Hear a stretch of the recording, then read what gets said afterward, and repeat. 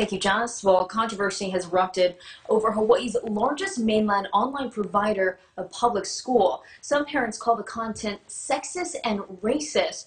Meanwhile, the founder says a small handful of nearly 1 million video lessons have been flagged and removed. Gina Mangieri is always investigating and has more.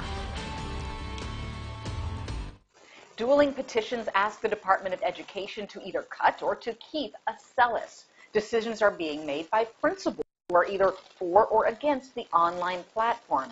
And the founder of Acellus tells me that out of his nearly 3 million students using Acellus nationwide, he's never had the volume of complaints that he's had from Hawaii alone in recent weeks. The Hawaii Department of Education gave students two options for this school year. Stick with their campus, which for now is mostly online or hybrid, or enroll in 100% distance learning for the entire school year. For most of the distance learning students, that means school is online with Acellus Learning Accelerator. The company's founder tells me they've got 3 million students nationwide, but Hawaii has been its biggest recent single growth area, with about 80,000 students participating. Subtract several hundred from that number since Aliamanu Elementary told parents Sunday it was pulling the plug, canceling all student accounts for what the principal called inappropriate and racist content.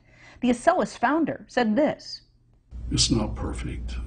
We have problems that we need to fix identified every day, and we take care of them quickly. Acellus told Aliamanu it took out a clip where a character, Sweetie Lips, is asked about the origin of her name. Another clip where a character says he's been running from the police. And the whole reading of a series of books about a bear learning to care. Acellus is also looking into whether to change references about Barack Obama from being the first black president to the first African American. Recently, the company removed a clip of an old video of Walt Disney introducing Grumpy the Snow White Dwarf as a woman hater. Everything they've accused us of having in Acellus that's bad are things that we removed because they seem to be offensive to someone. A Change.org petition was launched a few days ago calling on the Hawaii DOE to cut ties with Acellus. It adds more clips that parents take issue with, like a recent phonics lesson where G stood for gun. More than a thousand people had signed that as of late Monday. The company's own petition to support ongoing use in the islands had around the same number of signatures. Schools that are sticking with Acellus, like Kealakekei, told its parents that claims against the company have not been substantiated, that its separate Academy product is accredited, and that Acellus has been accessed in one way or another by Hawaii schools for about 10 years. I asked for the dollars involved. The DOE told me they spent a couple hundred thousand dollars on summer programs with Acellus, but that they don't have a tally for the school year because schools are buying it directly. Earlier this summer, the DOE anticipated at least 15% of Hawaii's 180,000 students would be covered by digital only with Acellus.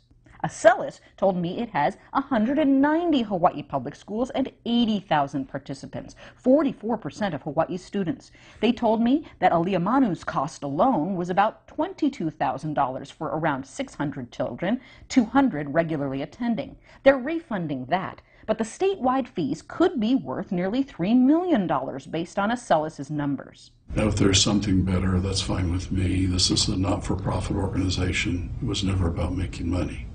The DOE tells me they did not conduct a competitive procurement for online services, calling education materials exempt. And they say schools can also use Edgenuity and Edmentum for distance learning. They're also spending about $700,000 for online curriculum with Blackboard. They get to use Google Classroom at no extra cost to its base G Suite license, and they're still tallying what Canvas might cost if they get a grant for it. That's an Arizona State University digital curriculum. The DOE told Always Investigating programs used for distance learning continue to be managed and approved at the school level, not mandated across the state, and that the department did not receive any complaints about Acellus until a recent social media campaign, but that they're working to identify any questionable content and will work directly with the vendor to address anything deemed inappropriate. Gina Mangieri, KHON2 News, Always Investigating.